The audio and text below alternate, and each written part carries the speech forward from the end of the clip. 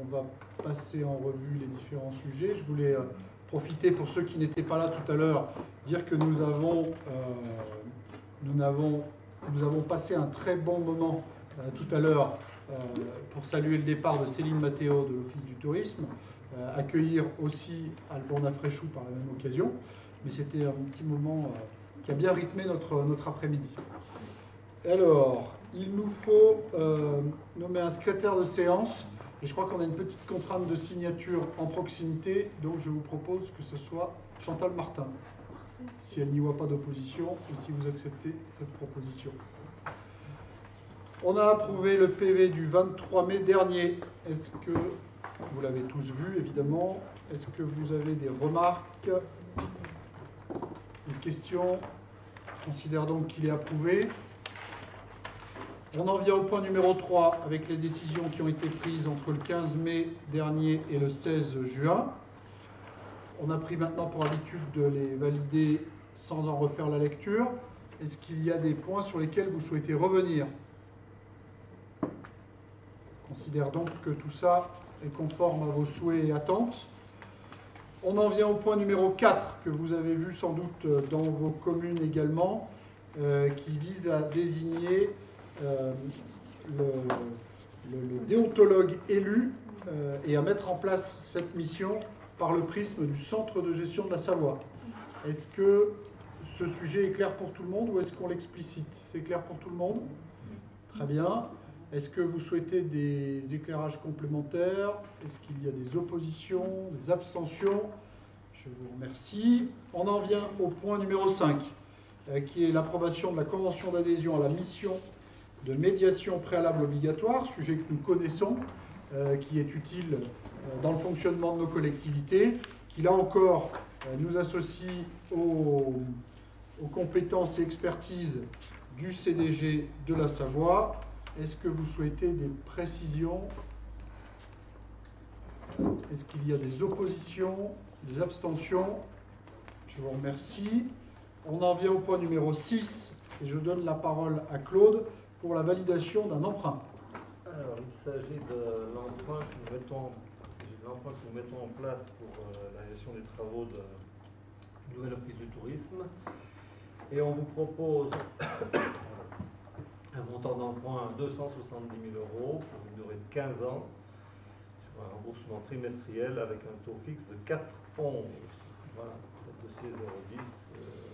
simplement, vous pouvez le constater les taux d'emprunt sont en train de s'envoler. Maintenant encore, on empruntait moins d'un pour cent. Donc on a là un vrai sujet, ce qui remet quand même un peu en cause potentiellement nos équilibres financiers. Mais euh, pas bien le choix. Qu'est-ce qu'il y a à dire là-dessus Ça correspond grosso modo les 270 000 à 15 euh, sur 15 ans et à 4%, grosso modo, au loyer qu'on paye à peu près, qu'on payait jusqu'à présent sur le, un peu moins, euh, même tout petit peu moins que, ce qu'on payait sur le du tourisme euh, actuel. Alors qu'on avait espéré un peu mieux si ça avait été 1%.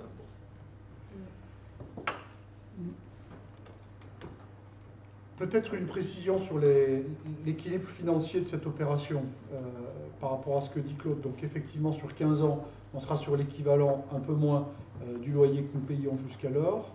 Euh, on a euh, une recette avec le studio qui sera loué, qui est donc à l'étage, sur une partie de l'étage du bâtiment. et sur ce projet, nous avons des, subventions de manière importante. Emmanuel, sous votre contrôle, 200 000 euros de l'État et 100 000, 90 000, 100 000 100 000 de la région. Euh, donc voilà, ça nous permet quand même d'avoir une opération qui globalement euh, est mieux que ce que nous avions pu imaginer au départ. Et 24 000 euros du département. Et 24 000 euros du euh, département. par rapport au financement de l'appartement. Très bien. Ah oui, pour l'appartement, exactement. Très bien. Est-ce que sur cet emprunt, il y a des questions à Claude? Si vous voulez qu'il vous parle de la dynamique des taux, il peut éventuellement vous faire un petit couplet. Est-ce qu'il y a des oppositions des abstentions, je vous remercie. On, précise qu'on est sur le budget de l'OT là, hein, du coup. On en vient au point 7 avec l'affectation des résultats 2022 du budget principal. Alors, euh, qu'est-ce que je vais vous lire là-dessus? On peut peut-être aller tout de suite au, au parce que j'avoue, du coup, j'avais fourni mon machin. Claude, il y a Emmanuel qui se propose, Bah, allez-y, mais, euh, Non, en fait, simplement. La, trésorerie a demandé un format particulier avec une seule et même délibération pour des délibérations qu'on a prises séparément au mois de mars. Donc en fait, on redélibère sur des choses qu'on avait déjà délibérées par rapport à l'affectation d'un résultat sur le budget GEMAPI. Donc voilà. Et il demande qu'il y ait une seule et même délibération qui dise qu'au niveau du budget euh, GEMAPI, ça va sur le budget général et que ce ne soit pas deux délibérations séparées. Voilà. C'est donc de pure forme. Ces explications étant données, est-ce qu'il y a des oppositions, des abstentions? Merci. Oui, je. Ah pardon, une abstention, j'avais pas vu. Mais oui, et, et c'est- et fort logiquement, et fort logiquement pour la GEMAPI, effectivement. Le point numéro 8, euh, c'est un point qu'on a déjà vu et vous le connaissez. Il s'agit de la convention de partenariat avec Auvergne-Rhône-Alpes Entreprises. Euh, c'est une délibération qu'on retrouve dans toutes les communautés de communes de Tarentaise euh, et de Savoie, euh, dans la mesure où nous avons fait le choix, au moment où la compétence économie a évolué entre le département, entre l'échelon départemental et l'échelon régional, de garder une antenne localement. On était sur une contribution de 20, qui était de 20 000 euros pour l'ensemble de la Tarentaise. Nos cinq Comcom ont donc réparti de manière équilibrée à 4 000 euros par communauté de communes. Et c'est précisément ce qui nous est demandé ce soir, euh, c'est de délibérer sur euh, cet engagement. Et on rappelle donc une subvention de 4 000 euros, compris l'adhésion à Auvergne-Rhône-Alpes euh, Entreprises, d'un montant de 100 euros. Est-ce que ça appelle des remarques ou des questions Romain? Oui, ju- juste, est-ce qu'on sait, est-ce s'il y a beaucoup d'entreprises locales qui, qui consultent? Alors, euh, une année ne ressemble pas à une autre. Moi, je ne vois pas toutes celles qui consultent. En revanche, je vois passer celles à, qui on donne des subventions. Euh, c'est évidemment beaucoup plus que, notre engagement ici, puisque euh, les subventions qu'on peut apporter sur la partie des investissements dans les commerces, par exemple, c'est 30% euh, des investissements à partir de 10 000 euros. Et puis ensuite, on a toute la dynamique de ce qu'on appelle euh, les prêts d'honneur, qui sont soit à taux zéro, soit sur des taux, euh, soit sur des taux euh, limités, qui ont la double euh, vertu, à la fois d'être plus intéressants que le marché bancaire aujourd'hui, et la deuxième, euh, de pouvoir être considéré comme de l'apport personnel, ce qui est euh, évidemment pas neutre euh, au moment où on monte une, boîte ou on fait des investissements. Donc, en tous les cas, objectivement, ça vaut le coup, évidemment, euh, de pouvoir maintenir. Alors, en sachant que pour nous, d'ailleurs, ça veut dire qu'on a euh, notre antenne qui se trouve à, Chambéry, euh, à, comment ça s'appelle, euh, au Bourget, voilà, euh, au Bourget du Lac. Et on a, pour ce qui nous concerne, anciennement Albertville Tarentaise Expansion, qu'on a maintenu, qui se trouve donc dans l'ancien hôpital euh, d'Albertville. Et du coup, euh, il y a aussi au niveau de la PTV, je crois qu'il y a une réflexion pour, euh, pour venir aussi en appui euh, au conseil, enfin, au conseil aux entreprises aussi. Je ne sais pas si. Non Ça ça a été évoqué au conseil local de développement. Alors, ils- ont le droit d'avoir envie, euh, ouais. mais, mais aujourd'hui, euh, la, la- non, mais la compétence économique, elle est, elle est aux régions. Donc, euh, si le CLD, qui ne fait que dépenser notre argent d'ailleurs, enfin celui de la PTV qui vient des Comcom, euh, donc si le CLD décidait d'installer quelque chose, euh, de toute façon, ça suppose une convention préalable avec euh, l'échelon régional. Enfin, juste, euh, c'était euh, enfin, bien lié à la PTV. Le CLD, c'était lors de la présentation de, de Joanne Vallée et, et de M. Martin. Ah, ah non, c'est plutôt sur les aménagements économiques, je pense. Oui, d'ailleurs, il y a une réunion demain matin sur le sujet. Et, et en fait, la réflexion, c'était euh, c'était qu'en fait, les entreprises n'avaient pas forcément de, de la, chambre des métiers, euh, il, manquait peut-être un, éche- un échelon de proximité. Et enfin, c'était un peu la, réflexion qu'il y avait. euh. Alors sur ce point-là, tu, tu as raison de le dire parce que nous, on n'est pas comme les autres pour le coup. parce qu'on on a fait le choix collectivement entre la Comcom et, la mairie de Moutier d'avoir la maison de l'économie, du commerce et de l'artisanat, qui est située en face de la, en face de la Comcom, hein, j'espère que vous savez où elle est. et cette maison de l'économie, c'est l'échelon de proximité. Donc c'est un bureau avancé pour la CCI, pour la CMA, et d'ailleurs on a le représentant local de la CMA qui est parmi nous, euh, et de, euh, et de Auvergne-Rhône-Alpes Entreprise. Euh, et, tout ça se fait plutôt sur rendez-vous. Et, quand j'ai vu par l'entremise de, Guillaume ces derniers temps la présidente de la CMA, je lui ai rappelé qu'elle avait, puisque c'est une nouvelle présidente, qu'elle avait une base avancée à Moutier. Et donc, pour Cœur de Tarentaise, les entreprises qui le souhaitent peuvent passer là. Euh, la Comcom porte le local, la ville porte l'emploi, euh, et, c'est comme ça qu'on peut apporter du conseil aux, entreprises. la réflexion était aussi d'avoir euh, une connaissance. En fait, il y a un manque de connaissances sur le, milieu économique, et il n'y a personne vraiment qui, connaîtrait tout ça. Et enfin, du coup, la réflexion, c'était de dire est-ce que il y a la compétence développement économique, c'est aussi l'intercommunalité à chaque interco. Et la, question, c'est de dire est-ce que ce serait intéressant d'avoir la connaissance euh, locale et peut-être euh, d'avoir une politique pour attirer les nouvelles entreprises.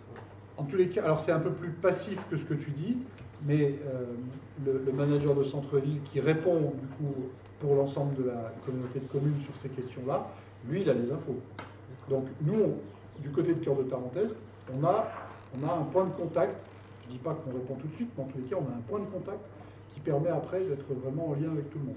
En revanche, euh, je ne suis pas certain que toutes les communes concernées euh, aient passé la convention qui permet de l'accompagnement aux investissements euh, dans les commerces. et ça, si ce n'est pas conventionné, euh, ça n'existe pas du tout, puisque la région ne vient pas seule, elle vient à condition qu'il y ait un engagement aussi local. Euh, et, ça, c'est chaque commune qui, prend l'engagement d'apporter. Donc, euh, il y a une fraction que j'évoquais de 30% tout à l'heure.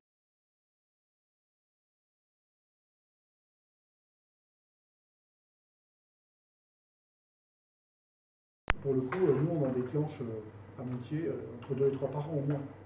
Mais en fait, la réflexion, elle porte, elle, est au-delà du, commerce, hein, elle est euh, sur comment dire, l'entrepreneuriat en général et la volonté de dynamiser et de, et de, et de faire venir euh, de nouvelles, enfin, des entreprises novatrices en fait. Oui. Bah, après, en, parenthèse, on a juste un petit sujet, sans enlever d'intérêt à ce que tu dis, mais euh, on a juste un petit sujet qui s'appelle le foncier en fait. Installer des entreprises, enfin, vous recevez tous des courriers, j'imagine, puisqu'il y en a un certain nombre qui ne connaissent pas notre territoire et qui souhaitent s'installer, euh, et qui nous demandent des, 20 000 mètres carrés. Il n'y a, pas un seul endroit où on est capable d'installer 20 000 mètres carrés aujourd'hui en parenthèse. Hein. Bien, est-ce qu'il y a sur cette délibération d'autres remarques ou questions? Je propose donc de la mettre aux voix. Est-ce qu'il y a des oppositions, des abstentions? Merci. On en vient à un sujet majeur euh, qui nous a beaucoup occupé ces derniers mois, euh, qui est le PLH. Donc, euh, on est invité à arrêter le nouveau projet de PLH qui doit s'étendre sur la période 2024-2030. Je vous rappelle qu'on a eu une délibération 14 décembre 2021 qui nous a permis de réengager une démarche d'élaboration d'un PLH. Euh, il y a eu un travail qui s'est conduit en gros sur une petite année là, de mai, du printemps 22 au printemps 23. Euh, on a eu l'occasion de réunir à plusieurs reprises euh, des comités de pilotage, des comités d'arbitrage, il y a eu des rencontres sur le territoire, etc. etc. et un document aujourd'hui qui nous permet de savoir dans quelle direction nous souhaitons aller, de ce qui nous a semblé important après le diagnostic territorial, d'avoir défini les orientations, les actions euh, et euh, de maintenant se préparer à être auditionné dans le cadre de la commission régionale de l'État qui nous permettra, je l'espère, de, valider ce projet de PLH, ce qui va nous emmener encore à une délibération, sans doute à la fin de l'année, ici de notre conseil communautaire, ce qui nous permettra ensuite d'avoir un PLH qui soit applicable J'espère au 1er janvier 2024. Peut-être qu'on aura un léger décalage et que ça pourrait nous conduire jusqu'en mars. En tous les cas, c'est la, perspective que nous nous sommes donnée. il y en a un certain nombre d'entre vous, Claude, Sandra, Jocelyne, je me souviens d'avoir vu aussi, voilà, qui ont participé euh, à ces travaux du, PLH. Euh, on peut revenir dans les détails que vous avez dans la délibération, si vous le souhaitez. En tous les cas, c'est le fruit d'un travail. Voilà, je cite ceux que je reconnais là autour de la table et qui étaient présents, parce que euh, c'est un travail qui nous a, sur lequel il y a bien des heures, bien des heures de travail. Mais c'est passionnant parce que le, diagnostic préalable, c'est quand même ce qui nous permet d'avoir une photo de l'existant, et elle est indispensable si on veut se donner une trajectoire pour la suite. Est-ce qu'il y a des remarques? Est-ce qu'il y a des sujets que vous souhaitez qu'on éclaire plus précisément?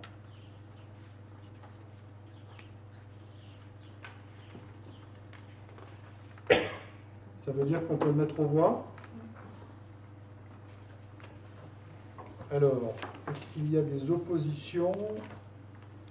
Les abstentions, eh écoutez, merci. On a, la date, elle est connue, je crois, Emmanuel, hein, du passage en comité régional. Bon. On, pourra vous la recommuniquer. Euh, l'idée, quand je dis ça, c'est plutôt de savoir si, euh, par hasard, l'un ou l'une d'entre vous euh, souhaitait être présent pour la présentation au comité en, en question, là. Ben, vous êtes les bienvenus naturellement. Voilà, le CRHH. C'est ça. Très bien. On en vient donc au point numéro 10 et je passe la parole à Jean-Paul s'agissant d'abord de l'actualisation des grilles des salles mises à disposition des usagers.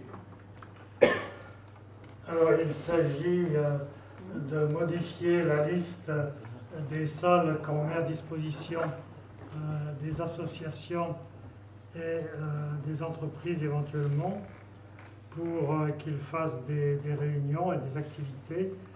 Donc il s'agit de la salle Ivos qui est dans le gymnase Barbier et qu'on n'avait pas indiqué à l'époque parce qu'elle n'existait pas. Donc on va rajouter la salle Ivos avec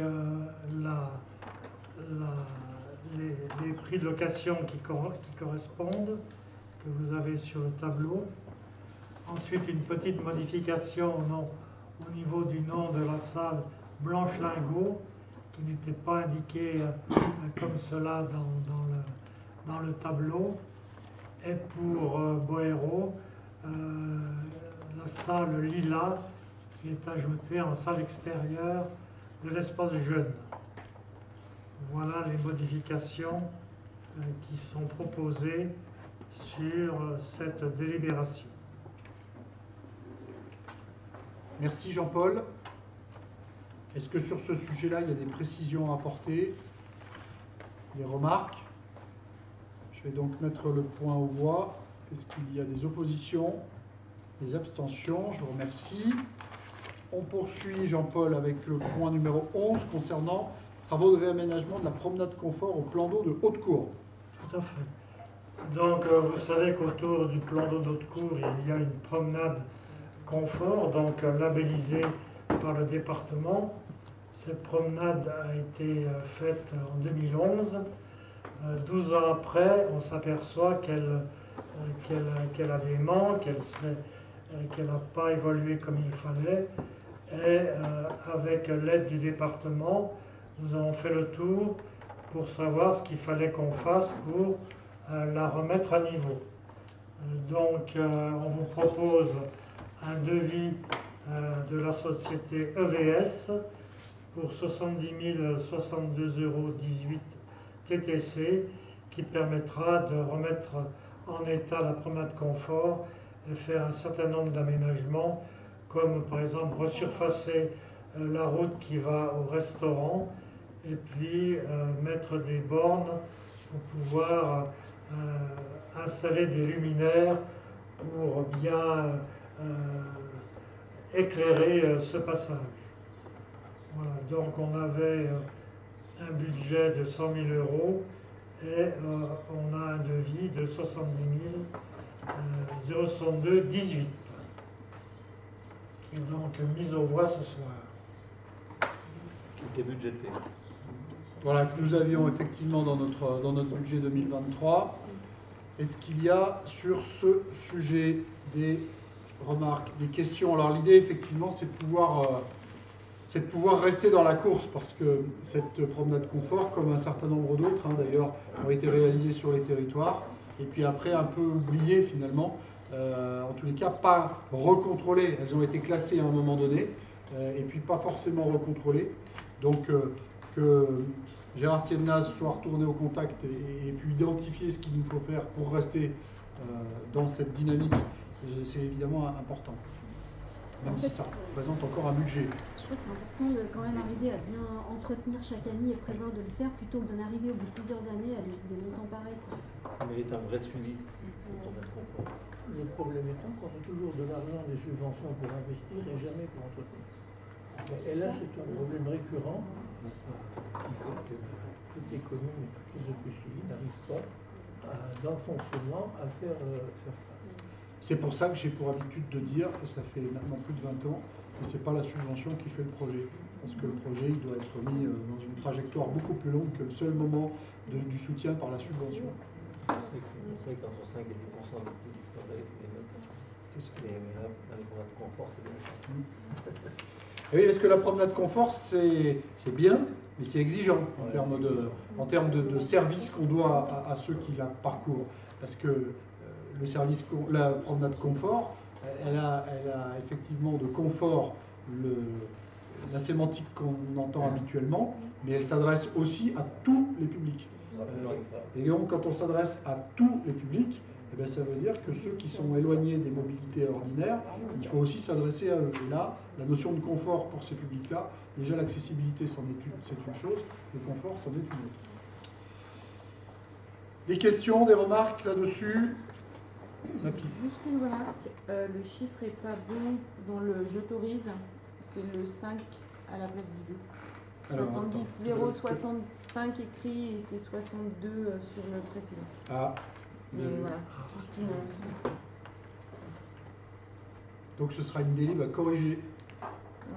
enfin à, co- à vérifier au moins. Très bien. Je mets donc aux voix. Est-ce qu'il y a des oppositions, des abstentions? Merci. On en vient à la demande de subvention pour la rénovation du sol du gymnase André Perrier, Saint-Marcel-Pomblière.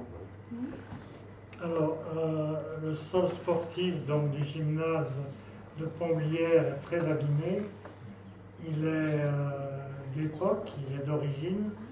Euh, il, a- il est en fin de vie, d'après ce que l'on constate.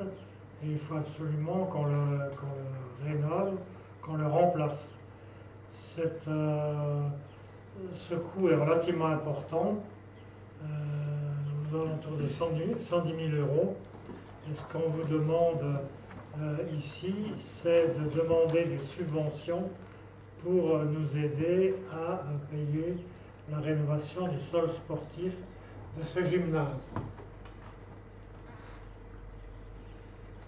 Alors on en est euh, finalement à l'intention puisqu'on demande la subvention. Euh, Pour autant, le sujet il va avancer, euh, il doit avancer assez rapidement dans la mesure où le sol présente aujourd'hui des désordres qui ne permettent plus des pratiques sportives en sécurité. Donc l'idée c'est qu'on puisse quand même aller assez vite sur cette affaire et, c'est un sujet qu'on aura l'occasion de revoir assez rapidement euh, compte tenu du besoin. En tous les cas, à ce stade, on en est à demander une subvention euh, pour euh, ce programme de travaux qui devrait être, Jean-Paul, de l'ordre de 120 000 euros. Oui, c'est ça. Et on a demandé l'assistance d'un- bureau d'études qui, qui va faire une analyse sur quel est le meilleur sol euh, par rapport aux pratiques euh, qu'il y a actuellement sur, sur le gymnase. Donc il faut qu'on attende déjà le, le résultat de- de cette analyse. mais on anticipe la demande de subvention. Absolument. Claude Oui, je voulais demander, est-ce que les, les, les, les- les fédérations sportives euh, euh, cherchent aussi à de l'argent, enfin des subventions pour, euh, Euh, les, les fédérations, elles cherchent toujours de l'argent. Ouais, mais pour pour, euh, Pour nous pour- oui, pour le pour Non. sol. non Elles n'en cherchent pas pour nous, euh, les fédérations, elles en cherchent pour eux. Et, et en général, ça marche comme ça. Après, ce qui existe, je, je pense au tennis en disant, il y a parfois des accords entre les, les collectivités financeurs et les fédérations. C'est le cas du tennis et de la région, par exemple. Euh, et il y a d'ailleurs un fléchage d'une subvention particulière euh, pour la couverture des tennis dans ce cadre-là. C'est un héritage euh, de la période où il y a eu la Coupe Davis sur le territoire. Donc euh, 2018 ou 19, quelque chose comme ça. Hubert, Par rapport aux fédérations, est-ce que justement les fédérations ne peuvent pas donner le, quel, est le, quel est le meilleur sol par rapport euh, si, alors ça, ça, ça fait partie de ce que disait Jean-Paul avec le, je sais pas comment on va dire, pas l'étude, mais enfin l'expertise euh, oui, mais ce qui est en cours. Ce qui nous éviterait de prendre un, un cabinet, un, un consultant pour ça, alors que les fédérations ont l'expertise. La difficulté, c'est qu'on a, on a plusieurs fédérations, puisqu'on est sur une salle qui est multisport, et, et- et en réalité, ils, ils ont tous des avis différents. hein, les- les- les- voilà, c'est ça. Les fédés, elles ont, elles ont tout un avis, mais c'est rarement concurrent. on peut peut-être les consulter euh, toutes ces fédérations. Peut-être que c'est- ça reviendra à la même chose. On peut, mais je suis pas sûr qu'on ait l'avis le plus objectif. D'autant que. je dis ça pour faire des économies. Oui, j'en- j'entends bien, j'entends bien. On avait déjà deux avis différents sur deux.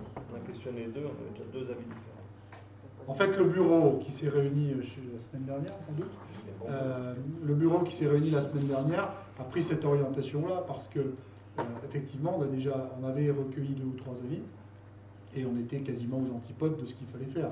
D'ailleurs, avec une solution à 40 000 et une solution à 120 000, on a commencé à aller voir, parce qu'on trouvait que celle à 40 000, c'était assez séduisant. Quoi. Euh, on a commencé à aller voir ce qui avait été réalisé ailleurs, et là, on s'est rendu compte qu'on nous avait raconté des gros bobards. quoi. Donc, voilà. euh, euh, on se dit qu'un avis objectif, un avis d'expert est sans doute plus objectif que ce que chacun pourrait nourrir dans cette affaire. Même si, effectivement, le bon sens, c'est celui que tu évoques. J'ai la mission de regarder le meilleur rapport qualité-prix. Durabilité. ouais. Je, je suppose qu'on n'est pas les seuls en France à avoir plusieurs euh, sports dans la même salle. Et c'est pour ça qu'on a eu, on est allé, enfin moi je suis pas allé, mais euh, voir, euh, et on a questionné un certain nombre d'autres collectivités, parce que là pour le coup on se dit que la vie est quand même plus objective. Ils ont les mêmes problématiques que nous, ils ont fait des tests, et c'est là où on a vu que des choses qui nous avaient été recommandées, ben, en questionnant les collectivités, on nous a dit qu'il ne faut surtout pas y aller, voilà le résultat au bout de 3 ans, ou, ça, ou 4 ans. je crois.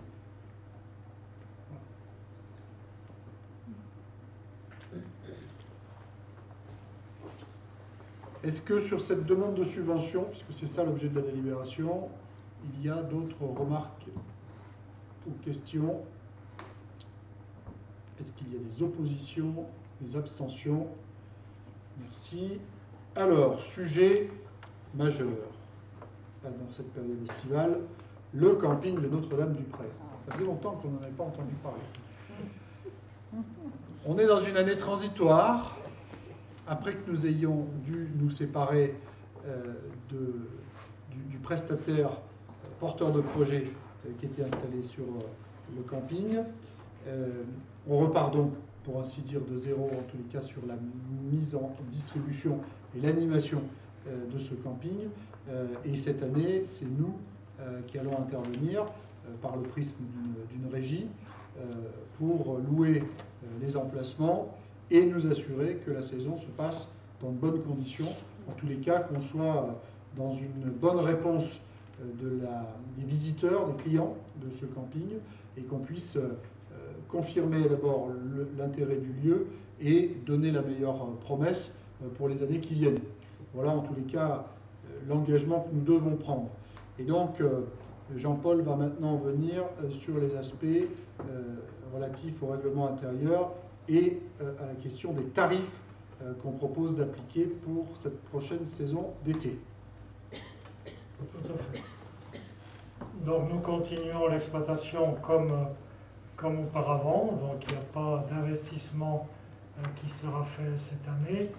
On travaille sur un projet de, convention qu'on va diffuser, euh, je pense, cet automne.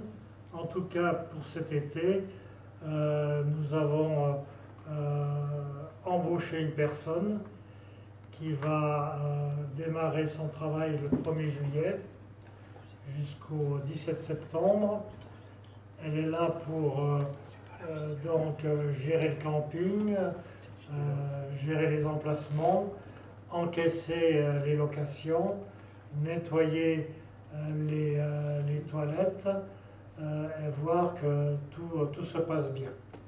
Donc, on compte beaucoup sur elle et on va lui amener évidemment un certain nombre d'éléments comme par exemple la décision sur les tarifs qu'elle devra faire appliquer euh, aux touristes. Donc vous les avez euh, sous les yeux, je pense. Pour les adultes, il y a, deux types de redevances. Il y a les redevances d'occupation à la personne, des redevances de- d'emplacement pour, pour les tentes, les caravanes. Donc, euh, redevance d'occupation pour les adultes de plus de 12 ans, c'est 5,5 euros par jour. Les enfants de 6 à 12, c'est 2,50. Les enfants de moins de 6 ans, c'est gratuit. Pour les familles, à partir pour 3 personnes, c'est 11 euros par jour. Et pour les groupes, à partir de 10 personnes, c'est 4 euros par personne et par jour. Voilà les tarifs pour euh, les, euh, les occupations. Pour euh, les emplacements, pour une petite tente, c'est 4 euros par jour. Une grande tente, c'est 6 euros. Et pour un camping-car ou une caravane, c'est 5 euros et demi. Voilà, donc elle va se baser sur ces tarifs pour faire euh, les, prix de location euh, des, personnes qui vont venir loger euh, au camping. En ce qui concerne la période d'ouverture, donc c'est du 1er juillet au 17 septembre, bien que le camping est ouvert malheureusement depuis deux bonnes semaines, mais on n'a pas pu, compte tenu du fait qu'on n'avait pas la régie, on n'a pas pu encaisser de, loyer pour l'instant. Donc actuellement, c'est c'est all- all-in. hein. Tout le monde y va et personne ne paye. Bref, on va remettre ça en place à partir de samedi. Et vous avez euh, après euh, les horaires de la personne qui a été embauchée, euh, que vous voyez va, va fo- va fonctionner tous les jours sauf le jeudi.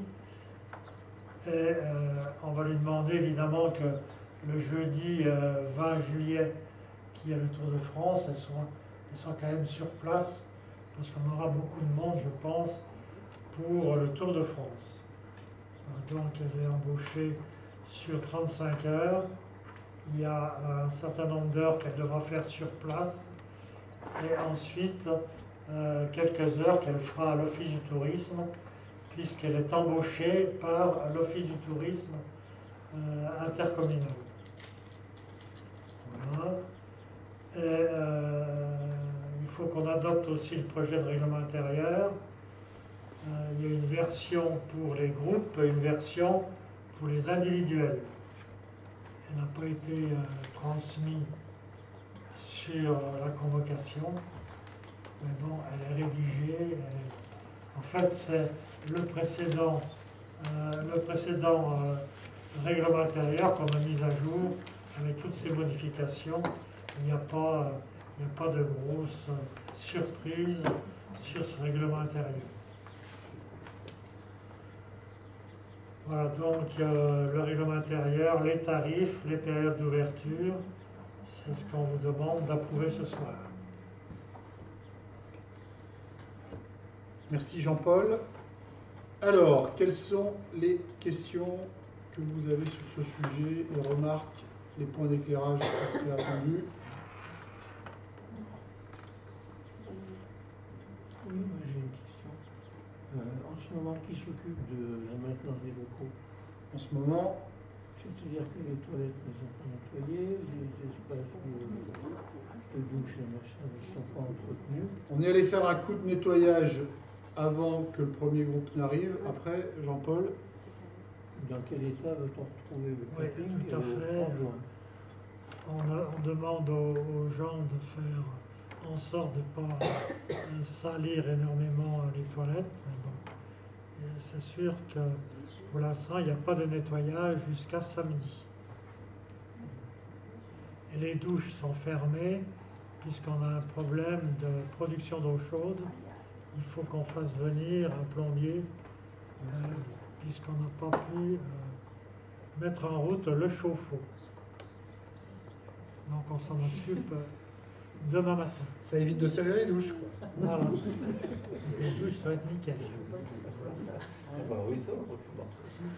Mais ta question, Daniel, c'est du, du coup, euh, c'est vrai que c'est c'est pas top, c'est certain.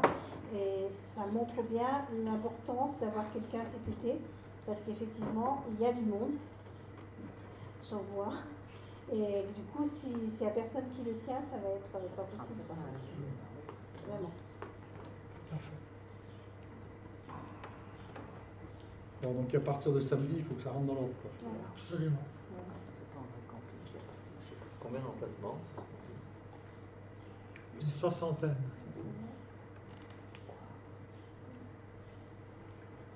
Quelle autre remarque ou question sur ce sujet-là? Convention et tarifs? Les tarifs, euh, par exemple, je vois famille pour trois personnes, mais c'est à partir de trois personnes ou... Non, c'est par personne, non. C'est pour trois. Et théâtre, par exemple, on rentre... euh, Eh ben, tu ajoutes, euh, tu ajoutes une personne tu ajoutes euh, supplémentaire selon l'âge. D'accord.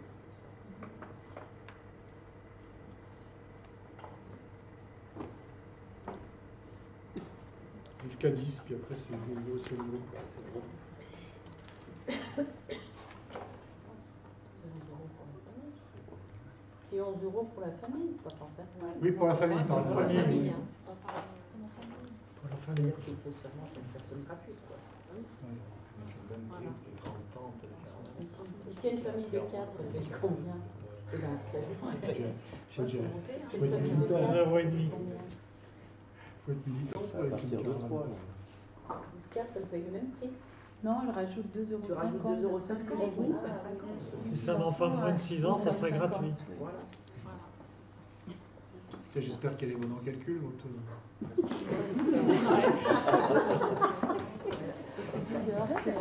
trois personnes. Parce que nous, là, à 30, c'est un peu juste. Il y a de la puissance de feu, quoi.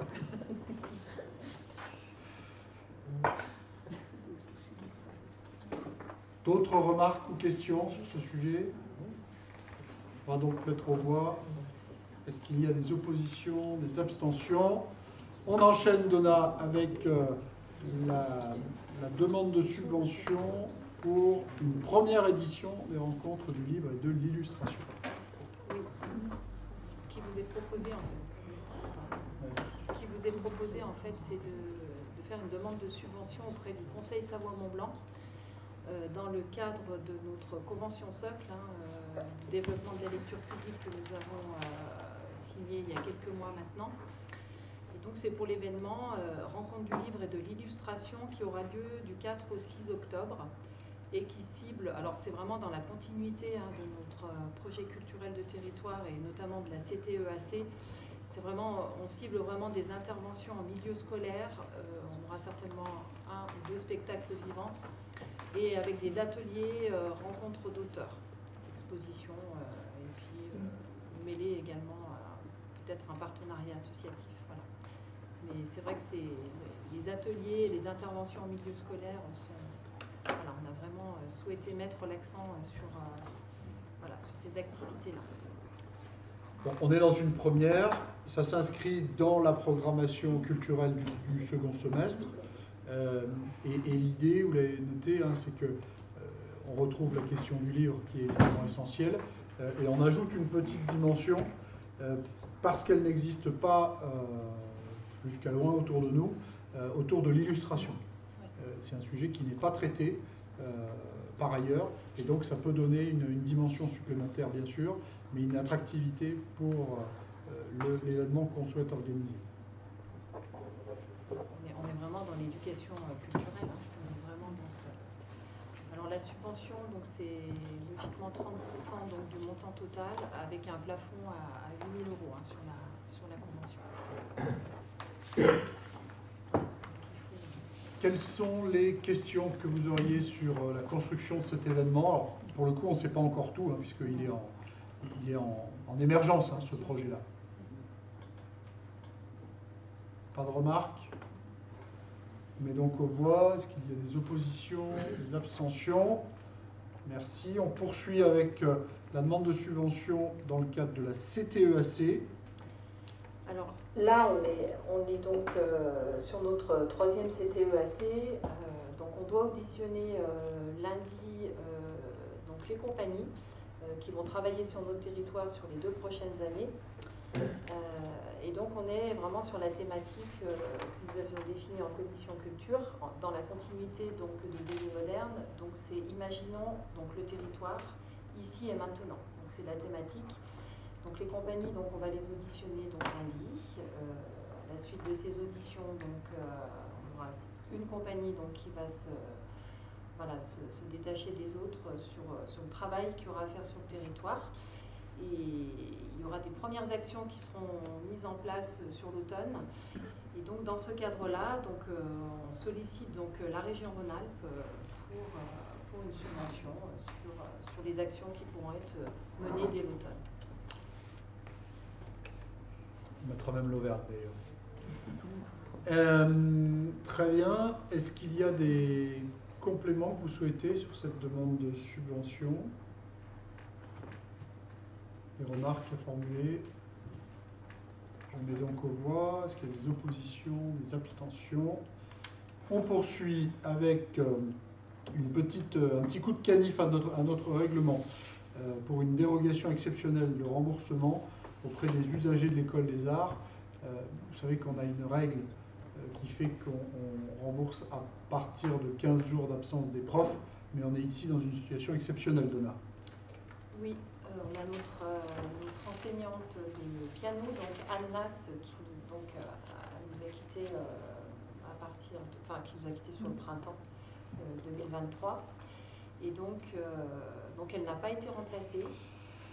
Et effectivement, comme tu le disais Fabrice, rien n'était prévu au règlement. Donc là, ce qui vous est proposé, en fait, c'est de pouvoir quand même rembourser ces 15, enfin, de ne pas prendre en compte les 15 jours de, carence. De pouvoir rembourser donc ces 15 jours pour les cours de piano. Et donc ça va se faire euh, sous forme d'avoir euh, qui pourra être utilisé euh, lors de la réinscription de la saison 2023-24. On n'a pas trouvé de remplaçant, On n'a pas trouvé de remplaçant. Le, principe, en fait, de, des 15 jours de carence, c'est quand on est dans la perspective d'un prof qui arrive, d'un prof qui revient. Là, quand le prof il est parti, par définition, ben, il n'est plus là. Quoi. Donc, euh, euh je veux dire, on, on, on sait qu'il ne reviendra pas, il n'est plus là. Euh, et, et, donc, l'esprit n'est pas le même que de se dire, il n'est pas là parce qu'il est malade, euh, ou il n'est pas là parce qu'il a une formation particulière. Là, il est parti. Donc, du coup, on peut peut, même pas faire la promesse d'un retour, puisqu'il est parti. Donc, c'est pour ça qu'on propose de manière exceptionnelle de déroger. Et vous aurez noté dans la méthode que on propose de, déroger de manière exceptionnelle sur ce cas particulier. On aurait pu dire on change le règlement, on ne change pas le règlement, parce que le règlement il est bon, il nous préserve un peu, euh, on reste sur une mesure exceptionnelle. Et Donald a dit, euh, non pas avec un remboursement, mais plutôt avec un, avoir. On est en fin d'année scolaire, ce ne sont pas des montants importants, on est vraiment euh, ici plus sur le principe que sur le montant. Et donc l'idée, c'est qu'on on se dise, ben, on va rembourser ça, et puis comme ça, on va, laisser la possibilité sur le renouvellement pour l'année prochaine, et comme ça, ça fait une solde de tout compte, euh, y compris dans l'ambiance qui nous lie au familles. Est-ce que vous avez des, des Et remarques ceux qui ne renouvellent pas, on leur rembourse? Ceux qui ne renouvellent pas, pas de bol, Anatole. Alors, après, il faut, il faut quand même, il faut quand même savoir qu'on a quand même une partie, euh, on a eu la carence des... En fait, on a appliqué le règlement pour le remboursement quand même. C'est-à-dire qu'au départ, on avait les 15 jours de carence, mais à partir du 15e jour, il y a quand même des remboursements qui ont été faits aux familles. Voilà. Après, euh, après là, on est vraiment sur les l'aspect... 15 jours. C'est que les Voilà. 15 jours. Voilà. C'est que les 15 jours et que la partie Piano. de l'instrument. C'est-à-dire que la formation euh, musicale, la formation musicale et, le, et la- les, les- les pratiques d'ensemble, là, collectives, elles ne sont pas remboursées, parce que là, on met des profs derrière ces, pratiques, ces, ces enseignements-là. Donc, il n'y a que la partie de l'instrument, en fait, et que 15 jours sur l'instrument. Donc, ça représente des montants qui sont vraiment dérisoires. On le fait plus sur le principe pour, euh, pour être au clair avec, avec nous-mêmes. D'autres remarques là-dessus? Les oppositions Les abstentions On poursuit. On fait évoluer donc les droits d'inscription pour la rentrée 2023-24. Oui. Euh, donc, euh, donc en théâtre, euh, euh, sur, euh, sur l'année qui vient de s'écouler, pour les plus petits, on avait des sessions de 3 quarts d'heure, de 45 minutes. Et ce qu'il est proposé pour la rentrée, c'est de faire euh, des, des- cours d'une durée d'une heure trente pour euh, toutes les catégories, en fait, de 6 à, à 18 ans. Voilà, avec une tarification identique euh, et qui permettra d'avoir une, petite souplesse s'il faut qu'on bah, qu'on change un petit peu au niveau des. Enfin, qu'on module un petit peu euh, les groupes en fonction des. Voilà, c'est ce qui est proposé pour, euh, pour le théâtre. Pour la danse, euh, il est proposé un atelier parents-enfants, donc bimensuel. Donc la tarification bah, pour, ce- pour cet atelier, c'est la même que celle qui est sur la grille tarifaire du cycle 1 et 2 adultes, avec un cours hebdomadaire. Et puis en formation musicale, euh, donc il est proposé euh, une adhésion euh, uniquement à la formation musicale, au même tarif que l'adhésion à la pratique collective seule. Voilà. Donc, on peut revoir sur les- Donc on est dans des ajustements, ce n'est pas une révolution, hein, ce sont des ajustements pour tenir compte de, de la manière avec laquelle ça, ça se met en œuvre de manière très pratique, euh, et puis euh, pour coller au plus près des réalités. Voilà. Vous les avez normalement dans le, dans le rapport. hein. Pardon, mais du coup, à éveil, là, euh, éveil, euh, Prends ton micro, extérieur, il- il y a- Tu peux mettre prendre ton micro. Oui, non, je balance. Ouais, alors, alors tourne-toi vers nous quand tu parles, parce que sinon... on Non, ça, ça marche pas bien le micro. Bah, si, Non, je voulais dire euh, éveil. Il a éveil extérieur. Éveil, il faut regarder le tableau éveil extérieur, à fond, au fond, c'est 38, et ça me semble pas être cohérent. Alors, éveil extérieur. 238. Ah, il manque quelque chose. Il manque Ouais, quelque chose ça après. doit être Non, mais 1500 c'était pour juste- un chiffre. Comment deux La dernière Il faut d'offres. Il faut extérieure, d'offres, 38 euros. Oui. Il manque un chiffre.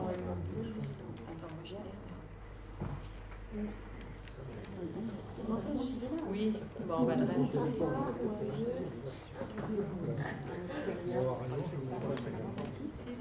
Ah oui, extérieur.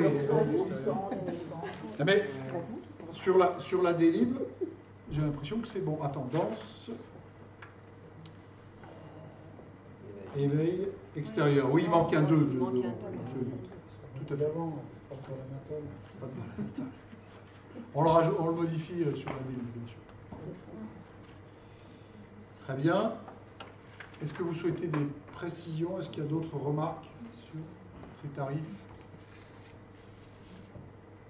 Est-ce qu'il y a des oppositions, des abstentions? Merci. On enchaîne, Donna, avec euh, la délibération relative à la demande de labellisation territoire 100% EAC. Alors, c'est à la, en fait, c'est à la demande de la DRAC, qu'on nous a, la DRAC nous a proposé en fait de partir sur cette labellisation euh, 100% EAC, puisque nous sommes sur notre troisième convention hein, d'éducation artistique, euh, d'éducation artistique et culturelle. Et euh, cette troisième convention, en fait, elle a une temporalité, euh, on est sur cinq années. Et cette labellisation peut être conduite sur, le même, sur la même temporalité en fait que, que, la convention en fait.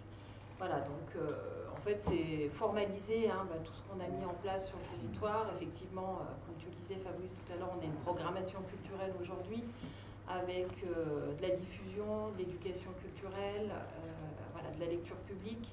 Et c'est tout simplement bah, formalisé.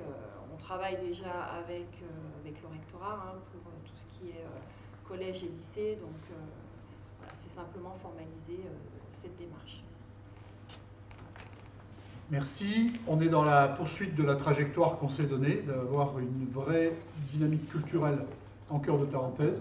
Euh, ça nous honore, c'est visible, c'est reconnu de l'extérieur, et aujourd'hui, euh, ça sert même plutôt de valeur d'exemple. Donc, euh, je crois qu'on peut, une fois n'est pas coutume, s'enorgueillir du travail qu'on a fait de ce côté-là.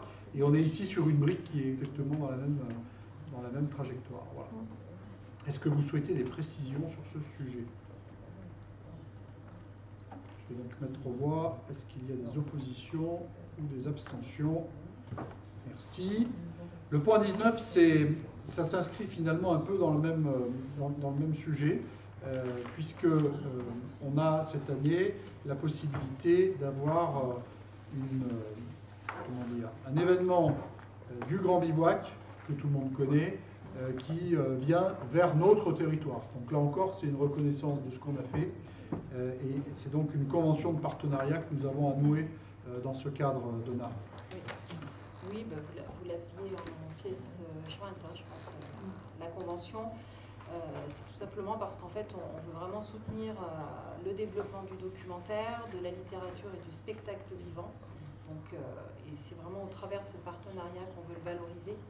Et comme tu le disais, on aura un événement le 21 octobre c'est un événement sur l'islam euh, qui sera en cœur de Tarentaise. Donc euh, un premier événement avec le Grand Bivouac. Et euh, pourquoi pas pouvoir développer effectivement les actions au travers du festival Vrai de Vrai. Donc c'est un troisième partenariat qui est voilà, qui nous Vous souhaitez des précisions sur ce partenariat, sur cette convention? Est-ce qu'il y a des oppositions, des abstentions On en vient, alors ça c'est un sujet euh, hautement stratégique, hein. euh, je crois qu'on avait déjà eu l'occasion d'en parler, c'est de définir les prix des produits boutiques. Alors Romain, on pourrait en discuter toute la soirée, je sais que tu aimes bien ce genre de sujet. Euh, en, tous les cas, voilà, c'est de définir les prix boutiques de l'Office du tourisme. Non mais c'est parce que là ils ont ajouté le logo cœur parenthèse, c'est pour ça. Ah, alors vas-y, je comprends. Pourquoi, pourquoi on remplace bah, On remplace parce que je pense qu'ils ont fait un. Ils ont refait un. on a vu que le, sujet vous avez bien plu l'autre fois. Donc du coup, on a modifié quelques prix. Et c'est pour ça qu'on revient devant vous. Ce qui permet de réouvrir le débat si d'aventure vous en aviez envie. Ce qui compte, c'est que vous avez tous les prix qui sont affichés. S'il y a une remarque, on la formule, sinon on propose qu'on délibère dessus. Est-ce qu'il y a des remarques? Fait, c'est que la liste, elle a évolué. Voilà. Il y a plus de choses. Voilà. il y a, les porte-clés Tour de France surtout, c'est ça qui choses qui ont été remises, mais des choses qui ont évolué et, c'est simplement de revalider cette liste à la place de la liste que vous avez, euh, qui a été sur laquelle on a délibéré euh, la, dernière fois.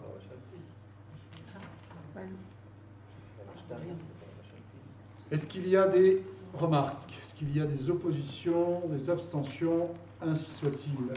Et il nous reste l'approbation des euh, tarifs de visite guidée avec EDF pour euh, la centrale hydroélectrique de la Coche de Oui, donc là, il est prévu 8 visites guidées euh, de la centrale hydroélectrique de la Coche qui seront organisées cet été. Euh, donc c'est des visites qui sont organisées par euh, les guides de la FACIM, donc, euh, donc, du 6 juillet au 31 ah août. Et le tarif est fixé à 12 euros par personne. Voilà. pour, les adultes et, pour les adultes et les enfants de, plus de 12 ans. Et donc il faut délibérer sur le tarif pour qu'on puisse vendre, vendre pardon, ces, ces visites. Merci. C'est l'occasion de signaler que le 5 juillet prochain, on va avoir une signature de convention avec la FACIM. Alors quand je dis on va, c'est la PTV euh, qui aura une signature de convention avec la FACIM dans le cadre de Pays d'art et d'histoire. Euh, on renouvelle cette convention, la DRAC sera aussi de la partie, et puis euh, ce sera l'occasion d'avoir une signature de manière complémentaire avec la dynamique du torrent au courant, qu'on connaît évidemment bien sur le territoire et, dans lequel s'inscrit justement ce genre de visites qui sont servies par l'Office du tourisme. Est-ce qu'il y a des remarques sur ce sujet? Est-ce qu'il y a des questions? Très bien. Hubert avait une question. Hein. Très bien. Est-ce qu'il y a des oppositions, des abstentions? Alors au point 22, on a souhaité euh, ajouter une motion que vous avez vue sans doute pour euh, certains d'entre vous déjà, euh, qui concerne la prédation en zone de montagne. En fait, on a pris cette, cette motion en comité syndical de la PTV et la proposition a été qu'elle puisse être relayée auprès des cinq conseils communautaires du territoire parce qu'on est face à des attaques euh, quasiment journalières désormais, euh, avec euh, des attaques sur ovins, sur caprins et sur bovins. Alors ça c'est un peu la nouveauté, mais hier soir, hier, oui, hier soir encore quelques attaques sur bovins. On en a eu, en parenthèse, on a eu des attaques sur bovins en Maurienne il y a une dizaine de jours. et, donc en fait tout est, tout est ouvert sur le sujet. On ne tient plus rien. Euh, cette prédation est devenue un problème du quotidien, à tel point que ça pourrait mettre en péril euh, le fait qu'on maintienne de, de, l'exploitation agricole en alpage, euh, parce que les éleveurs ne peuvent pas évidemment passer à 24 avec leurs troupeaux derrière leurs troupeaux. Et quand bien même, il y a sans doute des moments où ils pourraient même tout simplement plus faire face aux prédateurs quand il arrive, parce qu'aujourd'hui, le prédateur, la présence humaine, ne fait rien, ne fait plus rien. il se sent la, qui se sent le maillon le plus élevé de la chaîne alimentaire, euh, et, donc rien ne l'arrête, pas même la présence humaine. Donc dans cette, euh, situation, à la PTV, on a fait intervenir euh, quelques éleveurs, quelques éleveuses en l'occurrence, pour qu'elles puissent témoigner de la situation. Je ne vais pas intervenir ce soir, mais je crois que vous avez pu chacune et chacun avoir des témoignages sur, votre, sur vos communes ou sur le territoire. je crois que tout le monde a bien compris l'enjeu de cette affaire ici. On n'est pas contre le loup, mais il y a un moment donné où, si on ne défend pas euh, l'alpage, euh, ça va tout simplement disparaître. Et, on connaît toutes les conséquences que ça peut avoir, euh, que ça peut avoir derrière. Moi, je vous invite, si vous voulez être sensibilisé de la manière la plus objective sur ce sujet, à vous abonner à Maplou. Maplou, c'est cette, application qui permet de, déclarer toutes les attaques euh, eh bien vous, vous, abonnez à Maplou, c'est maplou.fr, maploup.fr. Euh, vous vous abonnez et vous allez recevoir un texto ou, un mail à votre choix euh, à chaque fois qu'une attaque a lieu en Savoie. Et, et, ben vous en recevez tous les jours plusieurs. deux pendant la Donc elles, arrivent plutôt en fin de journée, c'est pour ça qu'on les reçoit maintenant. mais, mais, vous recevez par jour un bilan en fin de journée. Euh, avec un mail ou un SMS euh, par attaque. Donc on vous dit ce qui a été attaqué, euh, sur quelle commune, et, c'est accablant de, de, voir le résultat tous les jours. Moi je les cumule toutes dans un dossier, c'est des mails que je mets tous, dans un dossier, et, comme ça, quand je vois, comme c'était le cas à la préfète de région il y a quelques jours, ben, je, lui dis voilà, résumé de ma plou sur une semaine, voilà le, truc, et je vous parle que de la Savoie, ce qui permet d'avoir une vision. Sachez que les, le, sud-drôme, euh, ils sont attaqués de manière euh, peut-être même encore plus violente que nous, que la Haute-Savoie, alors notamment sur le, on a cette connexion à là, euh, qui, fait qu'ils sont évidemment très touchés comme nous. et voilà, le, Rhône aujourd'hui est attaqué. Je ne connais pas d'endroit qui soit préservé. Il y a peut-être un peu l'Ardèche, mais comme ils ont la Drôme d'un côté, la Haute-Loire de l'autre, où les prédations sont fortes, ben, en réalité, euh, ça ne va pas tarder. Et le jour où, ça sera chez eux, ben, ils en auront tous les, jours aussi. Donc, une motion, ça ne change absolument rien. Par contre, l'idée, euh, c'est plutôt qu'on puisse, une nouvelle fois, euh, dire, faire remonter au national la situation dans laquelle on est et de montrer que toutes les collectivités sont au diapason pour dénoncer cette situation. Et pour moi, il y a un sujet qui est majeur. C'est pour ça que normalement, euh, je ne sais plus où on l'a noté, mais il est question des comptages. Pour moi, le vrai sujet, c'est les comptages. Parce que euh, il existe des tirs de défense simples, des tirs de défense renforcés en fonction des situations. Euh, il existe un taux de prélèvement euh, qui est de 19%. Le taux de prélèvement, euh, pour moi, il est indiscutable. C'est le, résultat, c'est le résultat de données objectives et scientifiques. Par contre, le taux de prélèvement, on l'applique à la population identifiée. Aujourd'hui, en France, on dit qu'il y a 974 loups. Tout le monde sait que c'est évidemment une grosse connerie, parce qu'il y en a au moins 2000, sans doute 3000, peut-être même plus. Et si vous faites un prélèvement de 19% de 900 ou un 10 un 19% de 2000, ben évidemment que ça ne fait pas du tout la même chose. Et que du coup, quand on se plante sur ce que j'appelle moi le stock initial, c'est-à-dire la population existante, quand on se plante sur le stock, eh bien, on, on- on a un accroissement qui est beaucoup plus important euh, que ce qu'on peut imaginer. Voilà. Donc pour moi, le vrai débat, le vrai combat, il est sur cette question du stock. en fait. Juste Oui. Question. Comment ça se passe avec les défenseurs du loup? Mal. Oui. Et en fait, Parce pourquoi c'est compliqué. hein, Mais en fait, d'ailleurs, le vrai problème dans cette histoire, on avait, euh, on avait un comité des régions ce matin euh, sur les sujets agricoles. Moi, je suis revenu sur cette question-là de la prédation, parce que en réalité, on a un vrai problème, c'est qu'on a un ministre de l'Agriculture qui est complètement désarmé sur le sujet, parce que c'est l'environnement qui décide. Voilà. Et que derrière, il y a, il y a- il y a des discours dogmatiques La population est globalement favorable. et oui, il y a des discours dogmatiques derrière les questions environnementales, mais, mais parce qu'en réalité, on, on a surtout affaire à des gens qui, qui se voilent la face. Quoi. Euh, je veux dire, aujourd'hui, quand je vous ai dit tout à l'heure, le loup est en haut de la chaîne alimentaire, ça veut dire quoi? Ça veut dire qu'il n'a pas de prédateur. Et ça veut dire que lui, par contre, il peut tout bouffer. Voilà. Donc, il, a bouffé de, la plume, euh, et donc du tétra, tout ce qu'on veut, voilà, ça avant. Il bouffe, alors ça c'est peut-être un peu moins grave parce qu'on a des grosses populations, mais aujourd'hui des cervidés et des ongulés d'une manière générale. Il bouffe des troupeaux, bien sûr. Là maintenant, c'est devenu une habitude, il bouffe les chiens aussi. Aussi, mais je veux dire les chiens, parce que on, on dit toujours chien de défense, chien de défense, mais les chiens de ça peut faire bouger un peu les choses. oui, mais, mais- oui, oui, mais, mais ça vient, ça vient. Et, et, et puis, qu'est-ce qu'il n'a pas encore bouffé? Mais ça va pas tarder, ils ont bouffé de l'humain. Enfin, je veux dire, il y a un moment donné, il faut se rendre à l'évidence, quoi. Euh, Nous, cet hiver, on a eu je ne sais combien d'attaques au cœur des villages. Les cervidés, ils sont reculés, ils vont se réfugier au cœur des villages. Et ouais, ils sont bouffés au cœur des villages. On a vu des loups en plein jour, en plein endroit, c'était filmé, photographié. et tant qu'on n'aura pas eu de la... C'est c'est terrible, euh, mais tant qu'on n'aura pas eu de la casse sur l'humain, je pense qu'on ne pourra pas faire entendre raison euh, à, à ceux qui ont une vision dogmatique sur cette question du loup. Voilà. Et moi, je dis pas, il faut tout, je dis pas qu'il faut l'éradiquer, c'est pas du tout le propos. Je dis par contre, il faut prendre des mesures fortes.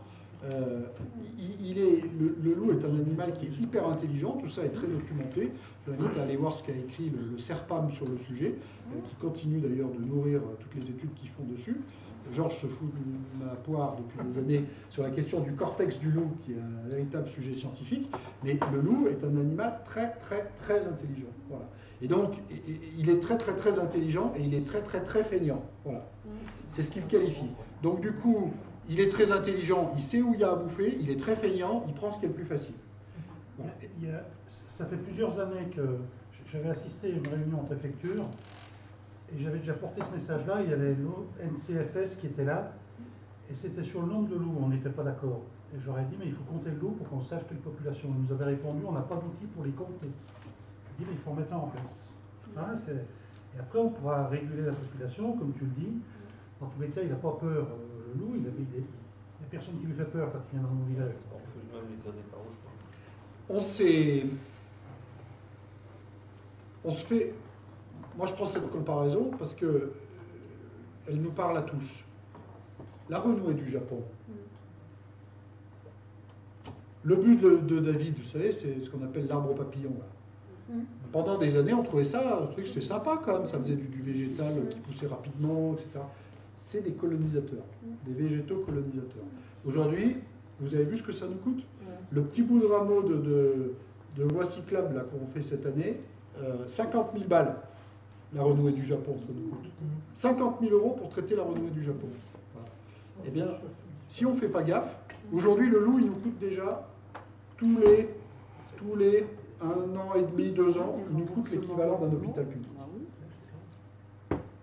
Tous les ans, en France, le loup, tous les deux ans, le loup coûte un hôpital public. Tous les deux ans, c'est ça. C'est 100 millions d'euros On rembourse les animaux. qu'on met dans la protection.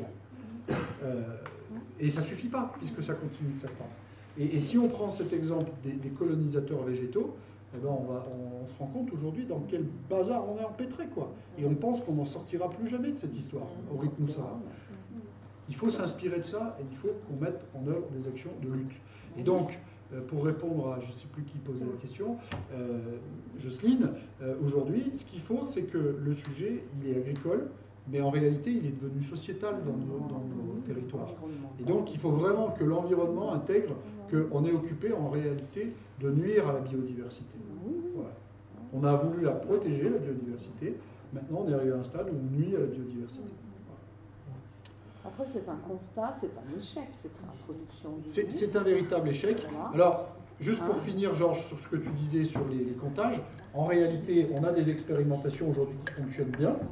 On finance avec la région euh, des expérimentations avec des drones. Alors, ce pas des drones euh, qu'on achète dans le commerce, hein. on est avec deux télépilotes euh, qui, sont des anciens pilotes de- de- de- d'hélicoptères de, combat, avec des drones sur lesquels on est, on- ils sont à deux pilotes en même temps sur le même drone euh, pour piloter à la fois la, visée et, qui et un autre qui pilote la, trajectoire.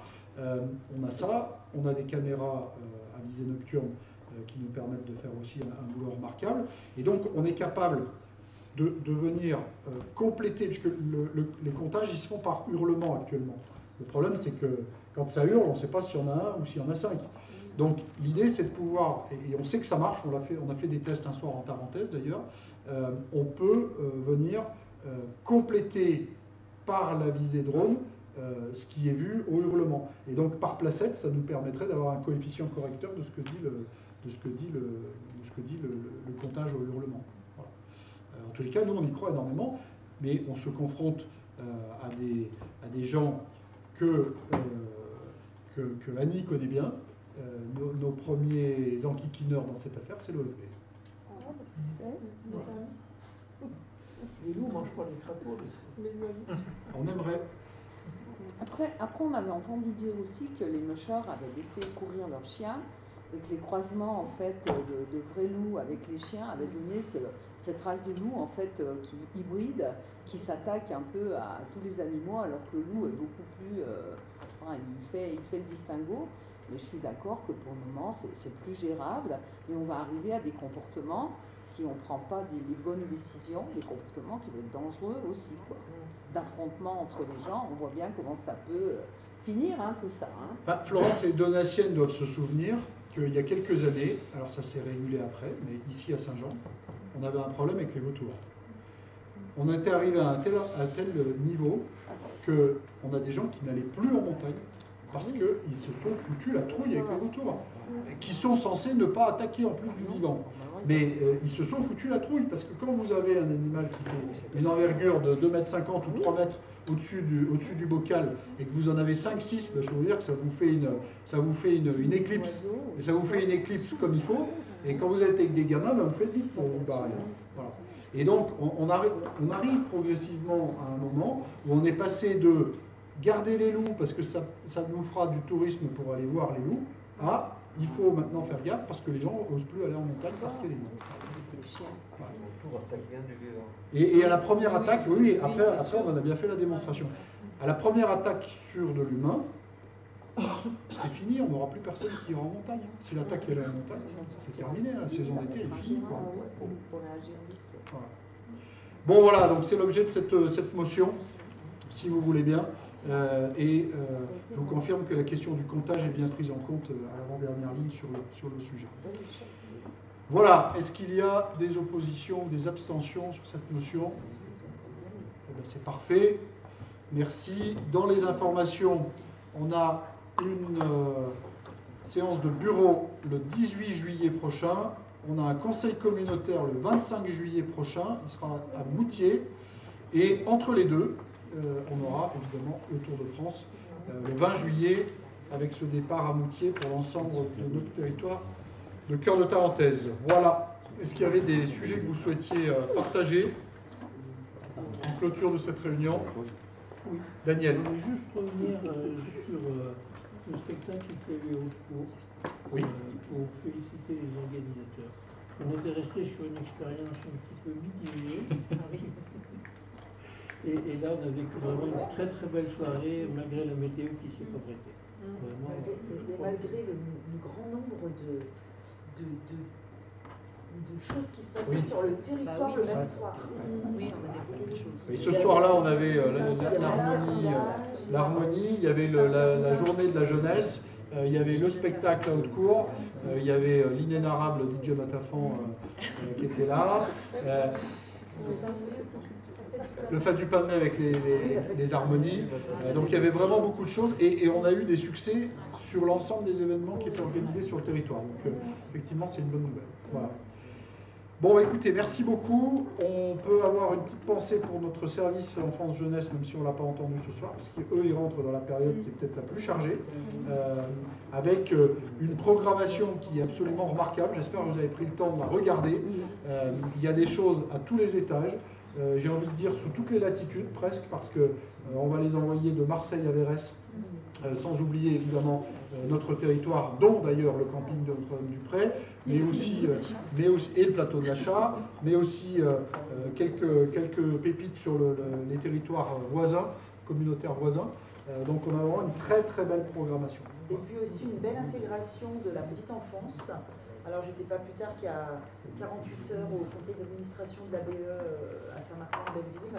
Voilà, avec une, une- voilà, une vraie articulation qui commence à se faire euh, sur le- l'intégration de la petite enfance euh, et Moutirenne et, euh, enfin, et intercommunale et euh, dans les hauteurs. Voilà un territoire à l'unisson de la culture, de la jeunesse, de la défense, de l'agro-pastoralisme.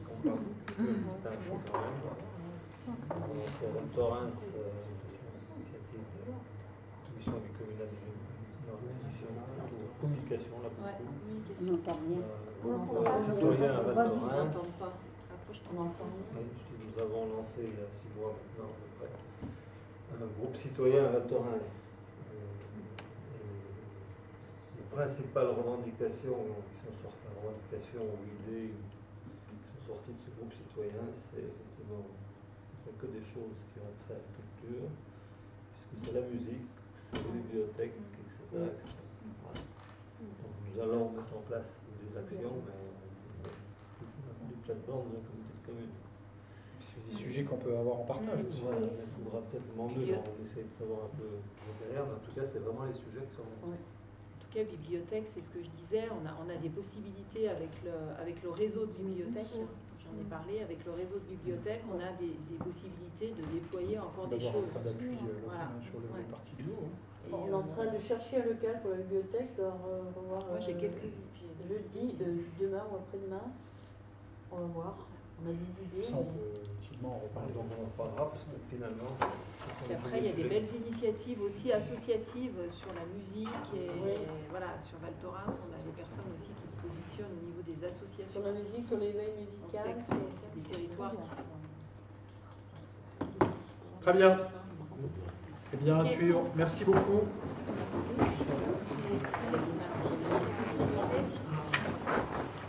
Bravo. Bravo. Presque à la minute près. hein. Ouais.